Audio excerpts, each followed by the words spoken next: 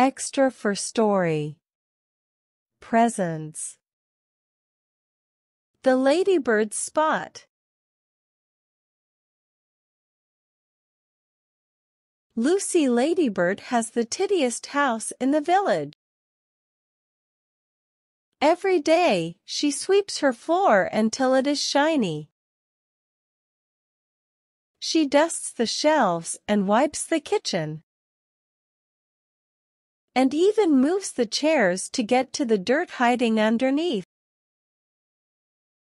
Your home is so clean, say her friends. Well, I do like things to be spotless, says Lucy.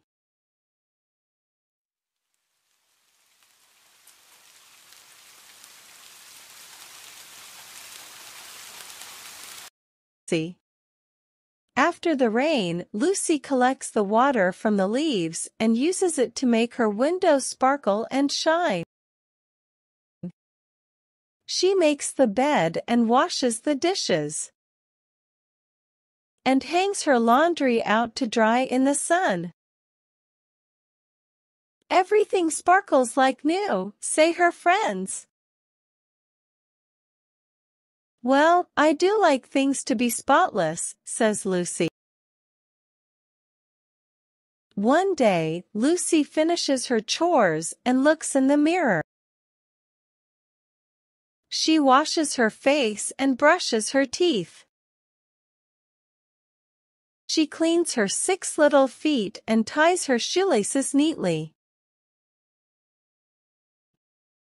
Then she twirls in a circle and looks at her back's view in the mirror. Lucy Ladybird smiles at her reflection. Not everything can be spotless. She chuckles as she admires her shiny wings. The end.